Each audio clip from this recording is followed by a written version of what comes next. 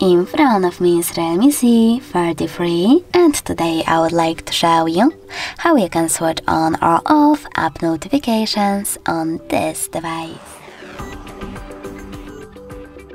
First of all, go into settings. Now you need to choose apps and notifications. Click on notifications and finally app settings.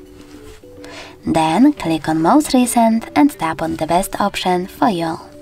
In my case, all apps. Finally, you can click on the switcher next to an app from which you want to block your notifications. I will go with Assistant. Now all notifications from Assistant are blocked. If you wish to enable them, click on the same Now Gray switcher. You can also just click on one of your apps over here instead and manage all notifications by tapping on this switcher next to all assistant notifications. Thanks so much for watching. If you enjoyed this video, leave a like, comment and definitely subscribe. Bye!